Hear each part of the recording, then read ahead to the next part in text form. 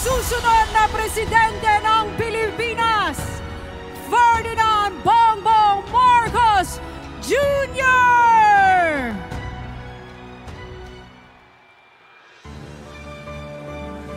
Ako'y Pilipino, ako'y Pilipino, taas noo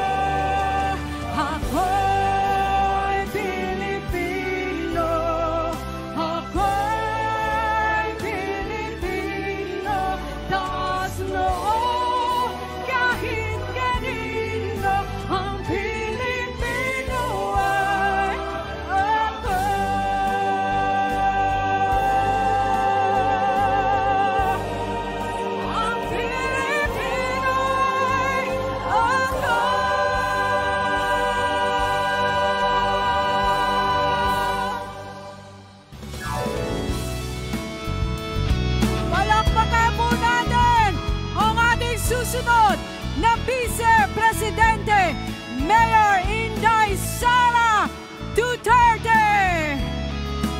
At ang susunod na Pangulo ng Pilipinas, Ferdinand Bongbong Marcos Jr.